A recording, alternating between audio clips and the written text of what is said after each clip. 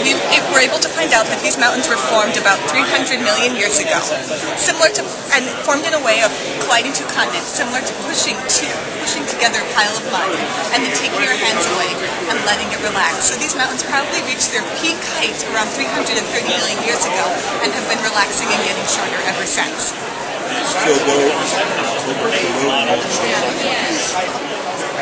And there are methods that can do that, maybe not cheap. Okay, great. Thank you so much. Very, very good job. That cut across it, you know, the texture. Uh, that's the the ando. Okay. And the reason for that is that it's a place where you so you have a base and here's the ando. And the ando is attached later with more clay.